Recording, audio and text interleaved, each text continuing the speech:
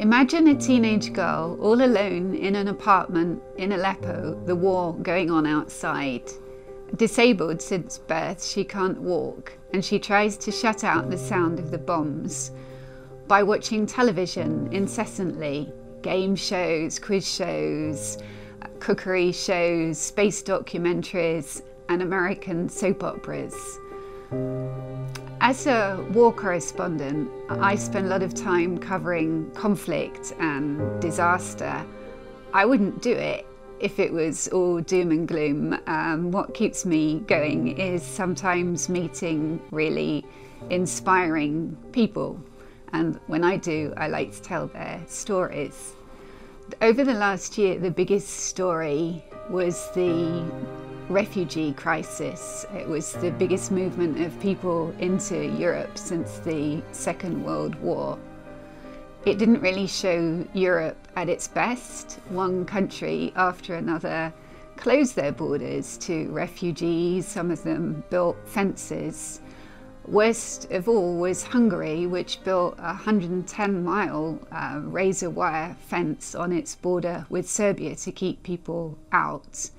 And it was there at that border, the day that they closed it, which was the 16th of September last year, where a remarkable 16 year old girl in a wheelchair appeared, uh, speaking fluent English, which she said she'd learnt from watching American soap operas.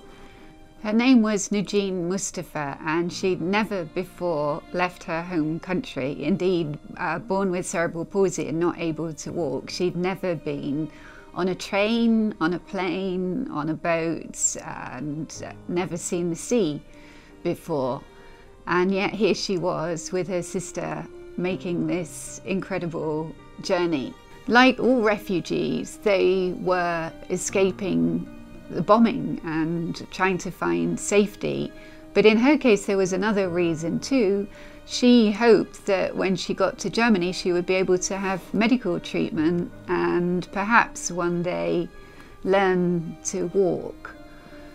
In total, they'd crossed nine borders, they'd travelled 2,500 miles, they'd gone by plane, taxi, boat, um, bus, and foot and they had done it all with a big smile on Nujeen's face. I think that Nujeen's remarkable story puts a human face on what's really the biggest story of our time. Her tale shows the challenges of the story, the, the smugglers, the anti-migrant politicians, all the difficulties of making a journey like that but it also shows the, kindness of people that they met along the way and also just her incredible determination and inspiration to try and have a new life somewhere else.